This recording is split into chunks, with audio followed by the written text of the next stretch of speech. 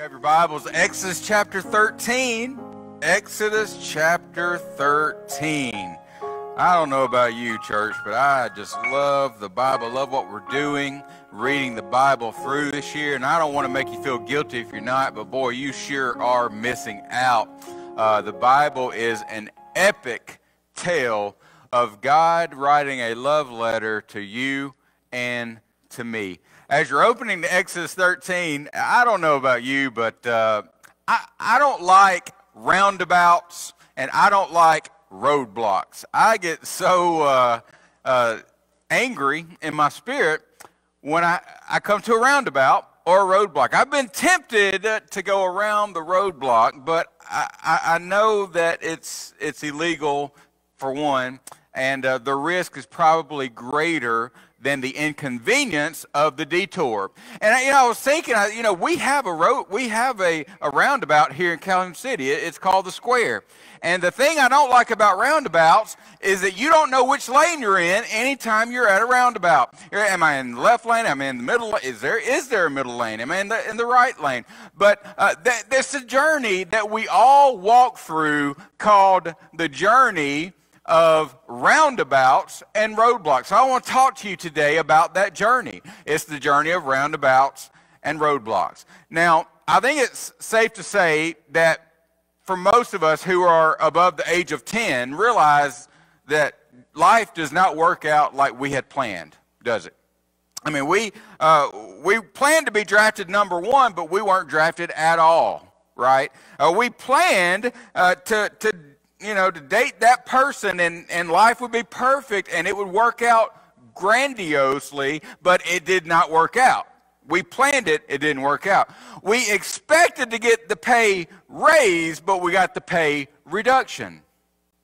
We, we expected to retire at 65, but here we are at 85, right? It didn't work out like we thought to. It's the journey of roundabouts and roadblocks.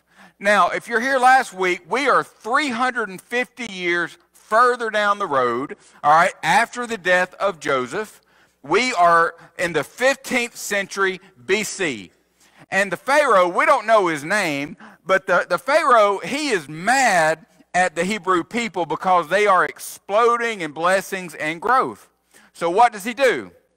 He says, Well, I'm going to kill every firstborn male and uh, the midwives kind of find a loophole and it doesn't really work out as planned and uh, suddenly you know this this couple who have this child realize that there's no hope for their Jewish son, so they put him in a basket down the Nile River, and uh, all of a sudden this child he's raised now by the the Pharaoh's palace, the the staff, and he's raised as a prince, and his name is Moses. Now, you can't make this stuff up. This will be the guy that will lead God's people to the promised land.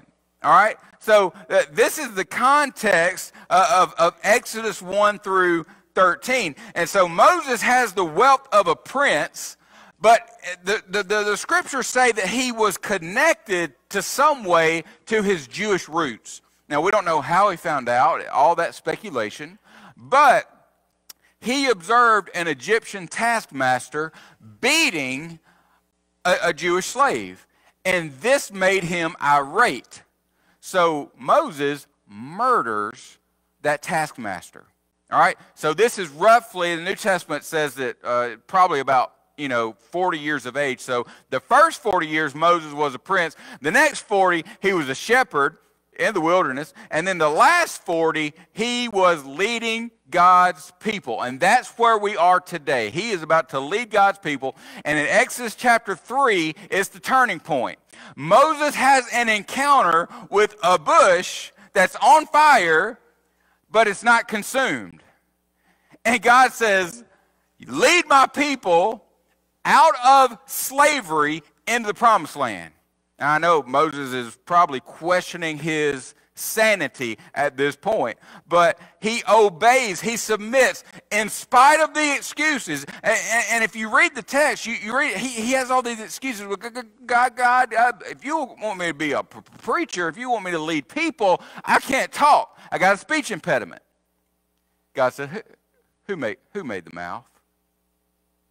In other words, I've given you all the ability you need in spite of your inability because I've called you to do something. And whatever God calls you to do, He will empower you to do it. So in Exodus 13, uh, this is just fascinating to me. Uh, that the, the, the, text here, Exodus 13, we'll, we'll look at 13, 14, and 15.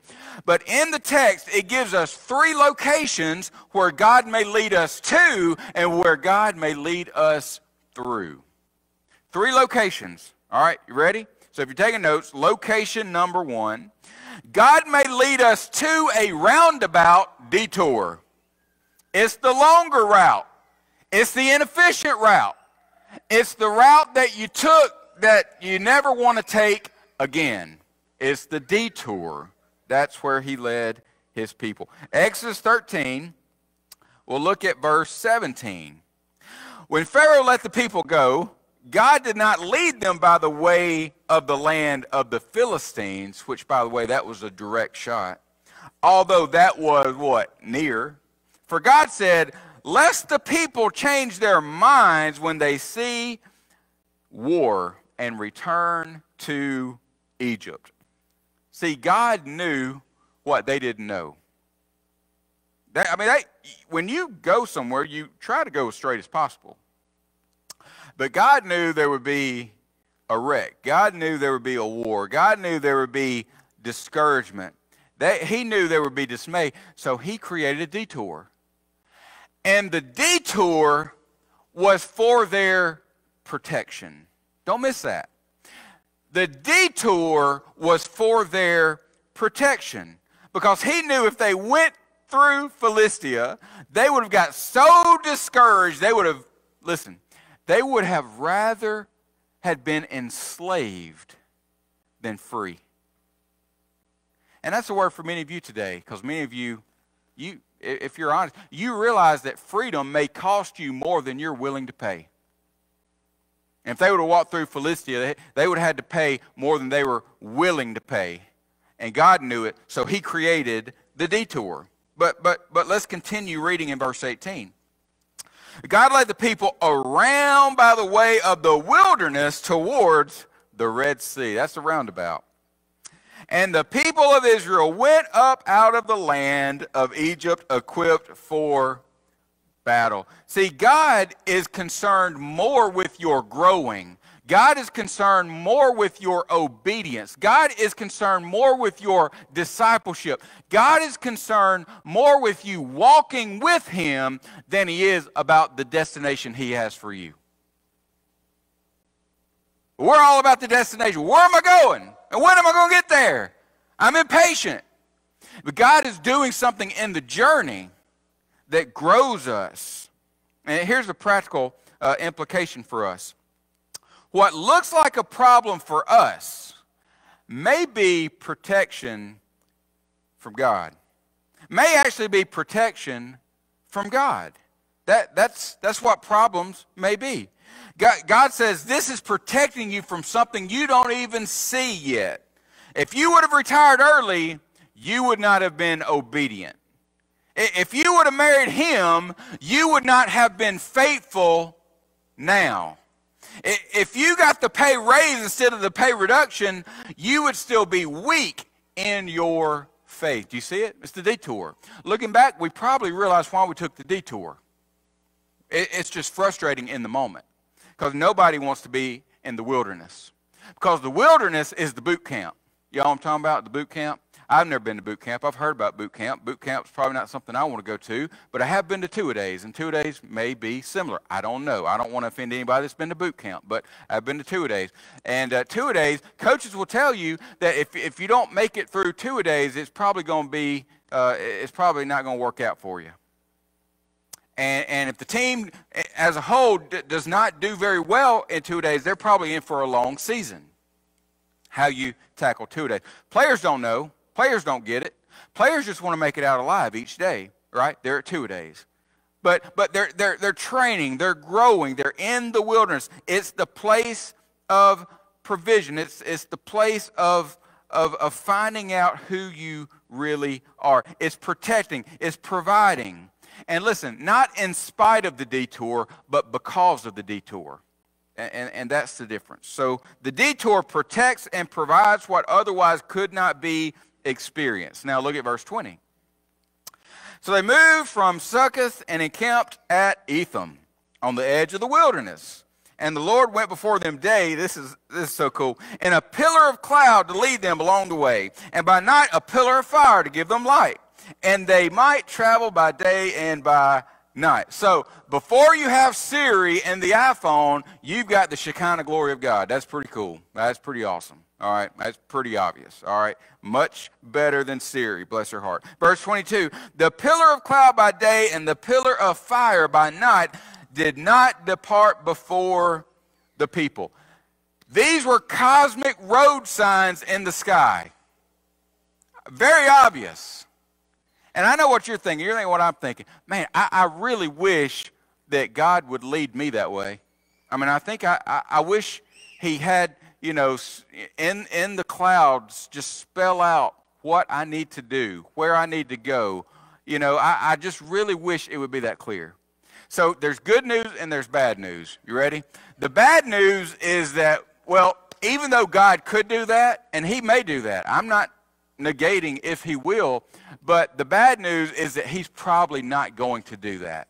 And the reason He's not going to do that is because the good news. You ready for good news? John 15 says that, that Jesus says that it, it's going to be more clear than, than a pillar of cloud by day and, and fire by night, it, it's much more clear. You've got an advocate. You've got a helper. His name is the Holy Spirit. He will lead you through any detour necessary. So he is with you all day, every day. It's as clear as day. An advocate will come, and this advocate, by the way, is the reason you're a believer because he has called you to himself.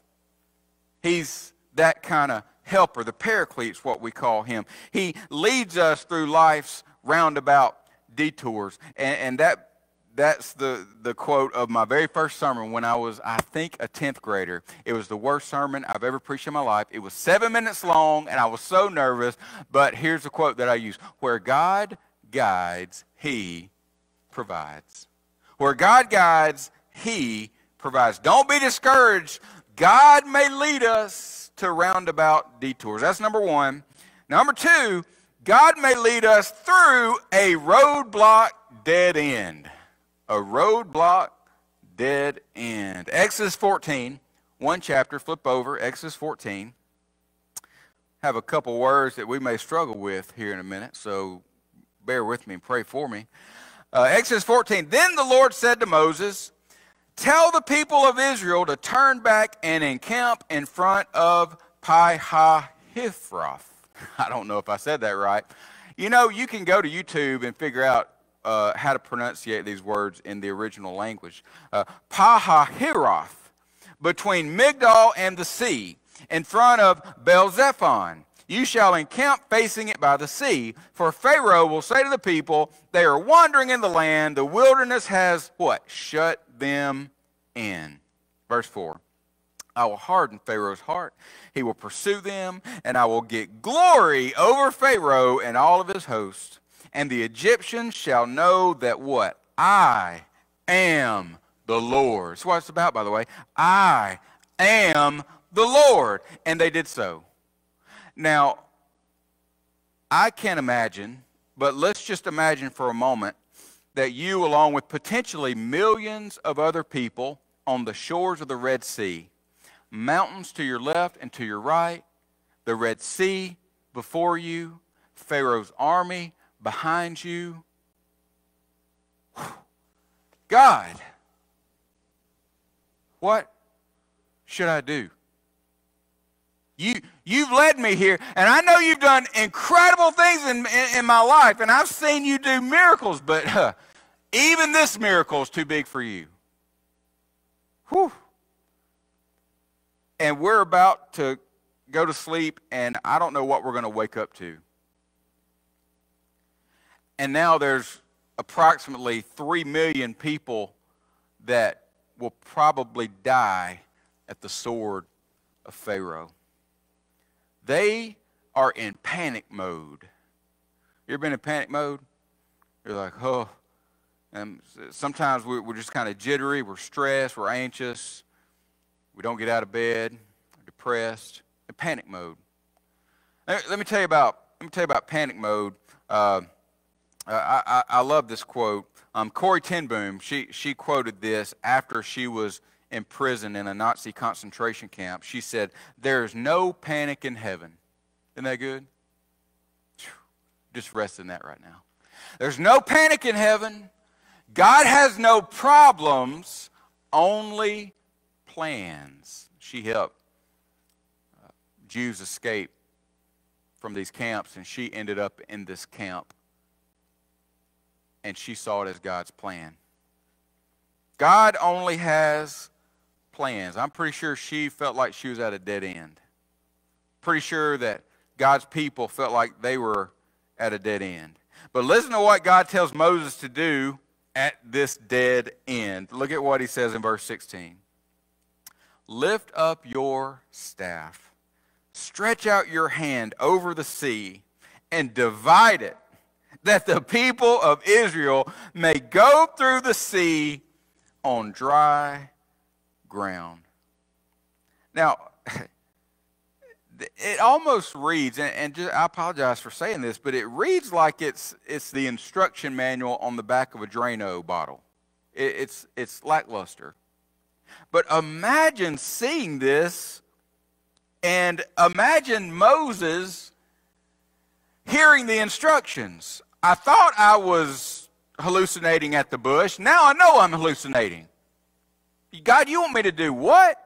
That's the cynical Moses. But the faithful Moses knows God, I've seen you.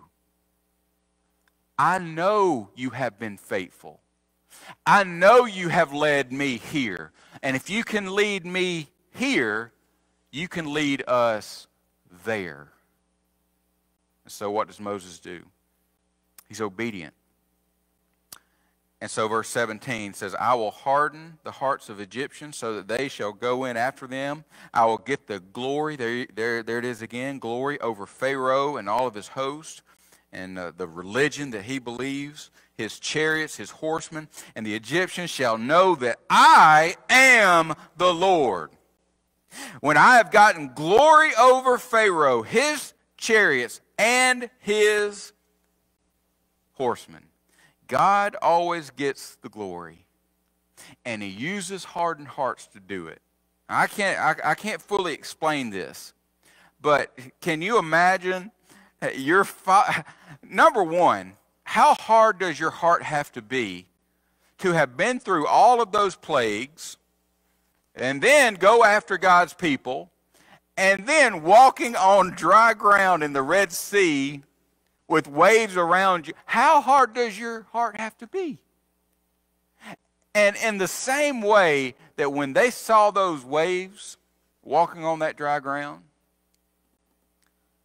and those waves began to crash, in that instant, they realized, you know what? This is the one true living God. And God received the glory God receive the glory. In the same way that there are atheists today, agnostics, and people who mock God, guess what? He's going to get the glory. God's word says every knee will bow, every tongue will confess that Jesus Christ is Lord. I don't want to be on that side of the knee. I don't want to mock God and find out how he receives the glory. Pharaoh and his army, they did. So God may lead you to a roundabout detour. Number two, God may lead us through a roadblock dead end. And so you, you kind of fast forward the next chapter, and you know what they do.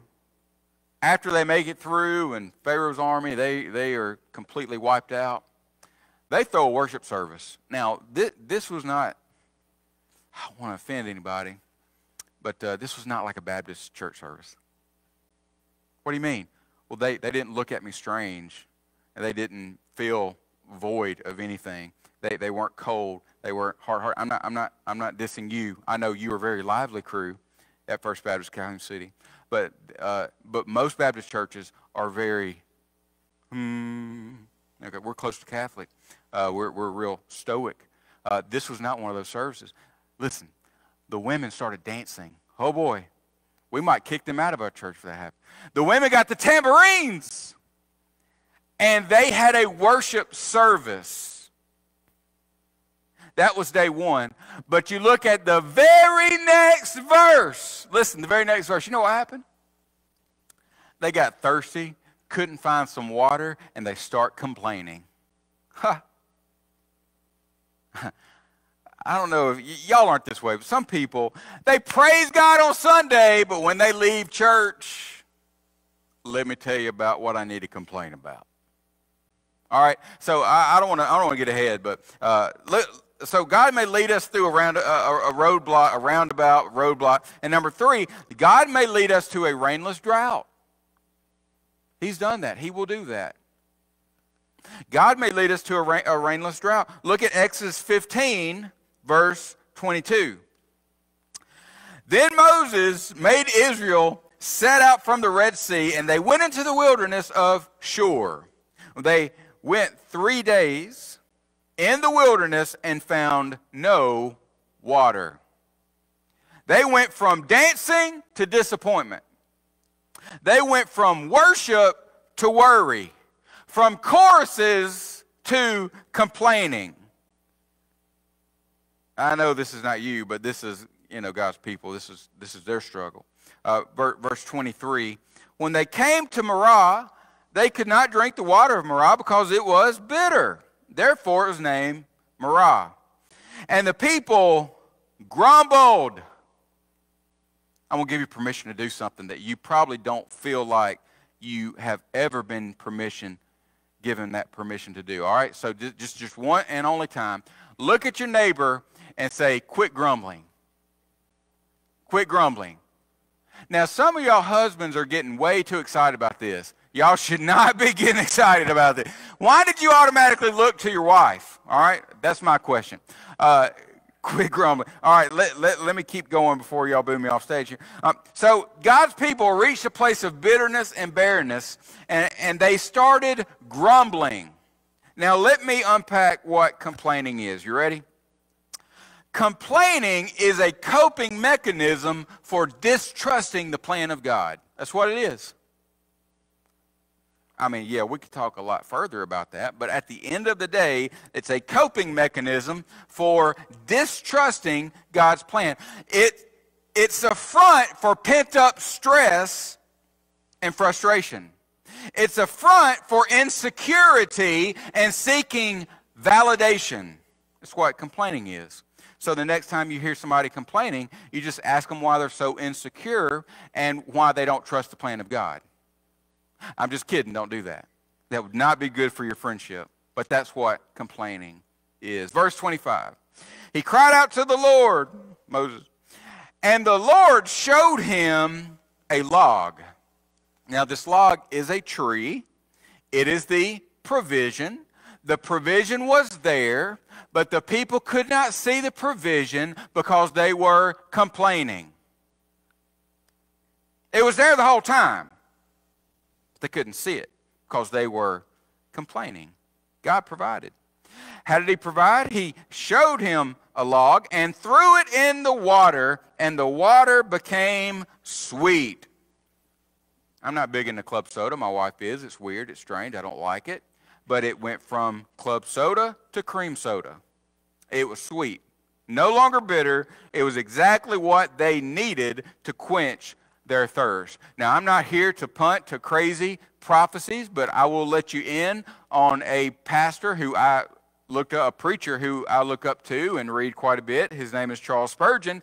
Listen to what Charles Spurgeon said about this very instance. He says, I do know a tree if put into the soul will sweeten all of its thoughts and desires. And Jesus knows that tree, and the tree whereon he died, that tree's Calvary. So you see that the tree in the wilderness of Shur is the tree of Mount Calvary. Life without Christ is bitter as the waters of Marah. But the tree of Calvary is the ultimate provisional tree, the tree that provides a quench that will never thirst again. You know, when I when I read the book of Exodus, I, there's this one word that just keeps coming to mind. God's doing a work in His people, and that work is really encapsulated by one word, and that word is focus. Word is focus. They they they quit focusing on the deliverer, and they started focusing on the dead end. They, they, they started focusing on the drought, not the, the deliverer. They, they, they, focus on the detour. And God had a way of reshifting their focus. I was thinking about this last night. I am uh, keeping my four year old Baxter for the rest of the day and uh, he has fallen in love with the care center, which is great for me because it costs nothing. We can go to the care center. He can ride his bike. I can pretend like I'm working out. You know, it, it's it's all good. Uh, Baxter was riding his bike, and and I, I start chasing him, you know, from behind, and and he just thinks it's funny. And then when I get in front of him, he says, "Daddy, slow down, slow down." So you know, you know, the competition's not fair. I let him win and so uh, so I try to stick right behind him. But when when I'm behind him about 10 or 15 feet, he thinks it's great because he's winning the race. But he looks back and he starts laughing.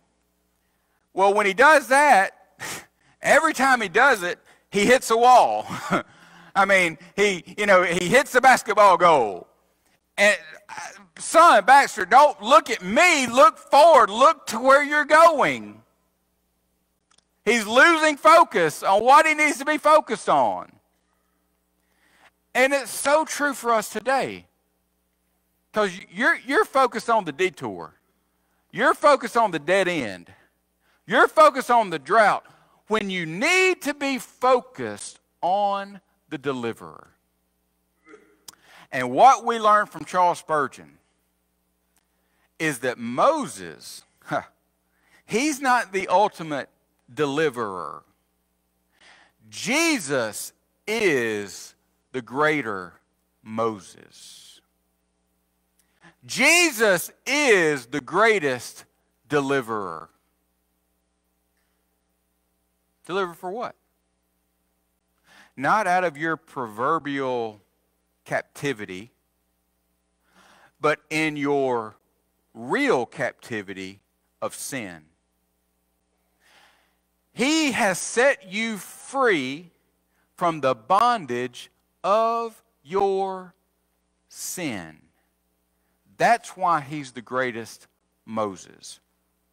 Focus on the deliverer, not your drought, not your detour, and not your dead end. Can you pray with me? With heads bowed and eyes closed, just one simple question as we begin our invitation time. One question What are you enslaved to? Maybe, another way to ask the question is this Who are you enslaved to? Are, are, are you still in bondage in Egypt? Or are you walking in the freedom that you've been set free from in Christ. Will you have a drought? Yeah, you'll have a drought. Will you hit a dead end? Yeah, you'll hit a dead end. But you're focused on your deliverer. See, some of you, you've, you've, you've witnessed a miracle, but, but you're, you're still complaining, you're still grumbling because you're still enslaved to your sin. And today, you need to be liberated. And the only way you can be liberated is to focus on the greater Moses. His name is Jesus. who died on a cross to deliver you from your sin to enjoy God's salvation. Heavenly Father, we thank you for the Exodus. And in the same way that your people were set free from slavery, we have been set free from sin's slavery. I pray that you would encourage us to fix and focus our eyes on Jesus, the greater Moses, the ultimate deliverer, so we can be obedient to where you would have us to go. Give us the courage to respond. Christ, name I pray. Amen.